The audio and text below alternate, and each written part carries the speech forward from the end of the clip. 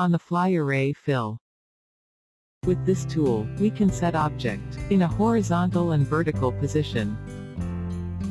Here, we have one square object.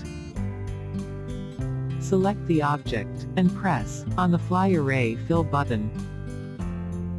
Here, we will add object, as per our need. If we want to, add more object in X position. So we will press, plus key. Here, you can see, in X position, more object has been added. If we want to, add more object in Y position. So we will press, plus key with shift key.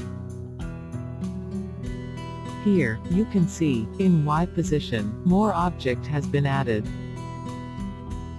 Now, we will make a circle, by pressing O key.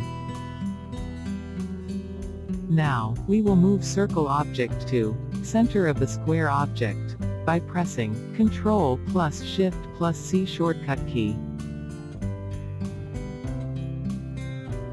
Select the circle object, and press, on the fly array fill button.